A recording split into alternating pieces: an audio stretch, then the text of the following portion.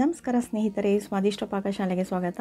ನಾನಿವತ್ತು ನಿಮಗೆ quick and ಟೇಸ್ಟಿಯಾಗಿ ಮಾಡುವಂತಹ ಆಲೂಗಡ್ಡೆ ಕ್ಯಾಪ್ಸಿಕಮ್ ಸಬ್ಜಿ ಮಾಡೋದು ಹೇಗೆ ಅಂತ ತಿಳಿಸ್ಕೊಡ್ತಾ ಇದ್ದೀನಿ ಡ್ರೈ ಪಲ್ಯ ಇದು ತುಂಬ ರುಚಿಯಾಗಿರುತ್ತೆ, ಚಪಾತಿ, ರೋಟಿ, ಪುಲ್ಕ ಜೊತೆ. ನೋಡ ಬನ್ನಿ ಮಾಡೋದು ಹೇಗೆ ಅಂತ. ಮೊದಲಿಗೆ ಮೂರು ಟೇಬಲ್ ಸ್ಪೂನ್ ಎಣ್ಣೆ ಹಾಕೊಳ್ಳೋಣ ಪ್ಯಾನ್ಗೆ ಎಣ್ಣೆ ಬಿಸಿ ಆಗಲಿ ನಂತರ ಜೀರಿಗೆ ಹಾಕ್ತಾ ಇದ್ದೀನಿ ಒನ್ ಟೀ ಸ್ಪೂನ್ನಷ್ಟು ಜೀರಿಗೆನ ಹುರ್ಕೊಳ್ಳೋಣ.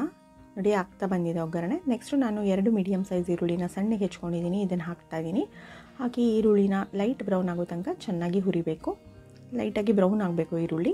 ನೋಡಿ ಕ್ವಿಕ್ಕಾಗಿ ರೆಡಿ ಮಾಡ್ಕೊಳ್ಬೋದು ಈ ಸಬ್ಜಿ. ಲಂಚ್ ಬಾಕ್ಸ್ಗೆ ಒಳ್ಳೆ ರೆಸಿಪಿ ಅಂತ ಹೇಳ್ತೀನಿ. ಆಫೀಸ್ಗೆ ಹೋಗೋರ್ಗಾಗಲಿ, ಮಕ್ಳಿಗಾಗಲಿ ತುಂಬ ಚೆನ್ನಾಗಿರುತ್ತೆ ಇದು ಟೇಸ್ಟು ಹಾಗೆ ಒಂದು ಟೀ ಸ್ಪೂನಷ್ಟು ಜಿಂಜರ್ ಗಾರ್ಲಿಕ್ ಪೇಸ್ಟ್ ಹಾಕ್ತಾಯಿದ್ದೀನಿ ಈಗ ಹಸಿ ವಾಸನೆ ಹೋಗೋ ತನಕ ಚೆನ್ನಾಗಿ ಹುರ್ಕೊಳ್ಳೋಣ. Flame low to medium adjust ಮಾಡಿಕೊಂಡು ಹುರ್ಕೊಳ್ಳಿ. ನೋಡಿ ಹಸಿ ವಾಸನೆ ಎಲ್ಲ ಹೋಗಿದೆ. ಇವಾಗ ನಾನು ನಾಲ್ಕು ಮೀಡಿಯಮ್ ಸೈಜ್ ಆಲೂಗಡ್ಡೆನ ಸಿಪ್ಪೆ ತೆಗೆದು ಈ ರೀತಿ ಕ್ಯೂಬ್ ರೀತಿ ಕಟ್ ಮಾಡಿ ನೀರಲ್ಲಿ ನೆನೆಸಿಟ್ಟಿದೆ. ಅದನ್ನು ಹಾಕ್ತಾಯಿದ್ದೀನಿ ಹಾಗೆ ನಾವು ಈರುಳ್ಳಿ ಜೊತೆ ಆಲೂಗಡ್ಡೆನ ಈ ರೀತಿ ಚೆನ್ನಾಗಿ ಫ್ರೈ ಮಾಡ್ಕೊಳ್ಳೋಣ ಒಂದೆರಡು ನಿಮಿಷಗಳ ಕಾಲ.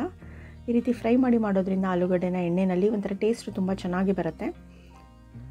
ಸಬ್ಜಿನಲ್ಲಿ ಒಂದೆರಡು ನಿಮಿಷ ಚೆನ್ನಾಗಿ medium flame high medium flame ಇಟ್ಬಿಟ್ಟು ಫ್ರೈ ಮಾಡಿಬಿಟ್ಟು ಮುಚ್ಚಿಟ್ಬಿಟ್ಟು ಒಂದು ಐದಾರು ನಿಮಿಷ ಚೆನ್ನಾಗಿ ಬೇಯಿಸಬೇಕು ಇದನ್ನು ಮೀಡಿಯಮ್ ಫ್ಲೇಮ್ನಲ್ಲಿ ಈಗ ಒಂದು ಮುಕ್ಕಾಲು ಭಾಗದಷ್ಟು ಆಲೂಗಡ್ಡೆ ಬೆಂದಿದೆ.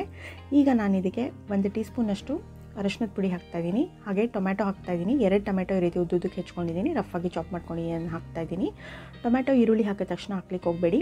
ಆಲೂಗಡ್ಡೆ ಒಂದು ಮುಕ್ಕಾಲು ಭಾಗ ಬೆಂದ ನಂತರ ಟೊಮ್ಯಾಟೊ ಹಾಕಿ ತುಂಬ ಚೆನ್ನಾಗಿ ಬರುತ್ತೆ ಆವಾಗ. ಟೇಸ್ಟು ನೆಕ್ಸ್ಟು ನಾನು ಒನ್ ಟೀ ಸ್ಪೂನಷ್ಟು ಅಚ್ಕರದ ಪುಡಿ, ಹಾಗೆ ಒಂದರಿಂದ ಎರಡು ಟೀ ಸ್ಪೂನಷ್ಟು ಧನಿಯಾ ಪುಡಿ ಹಾಕ್ತಾಯಿದ್ದೀನಿ ಫ್ಲೇಮ್ ಲೋ ಮಾಡಿಬಿಡಿ. ನೀವು ಪೌಡರ್ಗಳು ಹಾಕುವಾಗ ಮಸಾಲ ಪೌಡರು ಹಾಗೆ ಚೆನ್ನಾಗಿ ಮಿಕ್ಸ್ ಮಾಡೋಣ. ಹಾಗೆ ಟೊಮ್ಯಾಟೊ ಕೂಡ ಮೆತ್ತಗಾಗಬೇಕು. ಇಂಪಾರ್ಟೆಂಟು ಹಾಗೆ ಉಪ್ಪು ಹಾಕ್ತಾಯಿದ್ದೀನಿ ರುಚಿಗೆ ತಕ್ಕಷ್ಟು ಟೊಮ್ಯಾಟೊ ಬೇಯಲಿಕ್ಕೆ ಕೂಡ ಹೆಲ್ಪ್ ಆಗುತ್ತೆ. ಟೊಮ್ಯಾಟೊ ಸ್ವಲ್ಪ ಸಾಫ್ಟ್ ಆಗುತ್ತೆ. ನಾವು ಮುಚ್ಚಿಟ್ಬಿಟ್ಟು ಇದನ್ನು ಒಂದು ಮೂರಿಂದ ನಾಲ್ಕು ನಿಮಿಷ ಮುಚ್ಚಿಟ್ಟು ಬೇಯಿಸೋಣ. ನೋಣ ಬನ್ನಿ ಆಗಿದೆಯಾ ಅಂತ. ನೋಡಿ ಟೊಮ್ಯಾಟೊ ಮೆತ್ತಗಾಗ್ತಾ ಬಂದಿದೆ.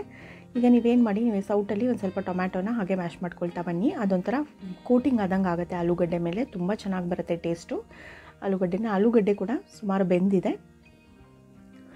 ನೋಡಿ, ಈ ರೀತಿ ಮಾಡೋದ್ರಿಂದ ಪೇ, ಪ್ಯೂರಿ ಹಾಕೋದಕ್ಕಿಂತ ನೀವು ಈ ರೀತಿ ರಫ್ ಆಗಿ ಚಾಪ್ ಮಾಡಿ ಹಾಕಿ ತುಂಬ ಟೇಸ್ಟ್ ಚೆನ್ನಾಗಿ ಬರುತ್ತೆ. ಈಗ ನಾನು ಮೂರು ಕ್ಯಾಪ್ಸಿಕಮ್ ತೊಗೊಂಡಿದ್ದೆ. ಈ ರೀತಿ ಕಟ್ ಮಾಡ್ಕೊಂಡಿದ್ದೀನಿ ಸ್ಕ್ವೇರಾಗಿ ಅದನ್ನು ಹಾಕ್ತಾಯಿದ್ದೀನಿ ಲಾಸ್ಟಿಗೆ ಹಾಕಿ ಕ್ಯಾಪ್ಸಿಕಮ್ ಯಾಕಂದರೆ ತುಂಬ ಬೇಗ ಬೆಂದುಬಿಡುತ್ತೆ.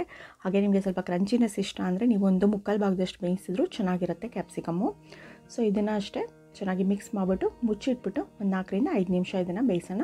ಅಷ್ಟರಲ್ಲಿ ಆಗಿರುತ್ತೆ. ಆಲೂಗಡ್ಡೆನೂ ಬೆಂದಿರುತ್ತೆ. ಕ್ಯಾಪ್ಸಿಕಮ್ಮು ಆಗಿರುತ್ತೆ. ನೋಡಿ, ಎಷ್ಟು ಫಾಸ್ಟಾಗಿ ರೆಡಿ ಮಾಡ್ಕೊಳ್ಬೋದು. ತುಂಬ ರುಚಿಯಾಗಿರುತ್ತೆ ಇದು. ಇವನ್ ರಸಮ್ ರೈಸ್ ಜೊತೆ ಕೂಡ ತಿನ್ಬೋದು. ಈ ಲಾಸ್ಟಿಗೆ ಒಂದು ಅರ್ಧ ಟೀ ಸ್ಪೂನಷ್ಟು ಗರಂ ಮಸಾಲ ಪೌಡರ್ ಹಾಕ್ತಾಯಿದ್ದೀನಿ ತುಂಬ ಕಡಿಮೆ ಇಂಗ್ರೀಡಿಯೆಂಟ್ಸಲ್ಲಿ ರೆಡಿಯಾಗುವಂಥ ರೆಸಿಪಿ ಇದು.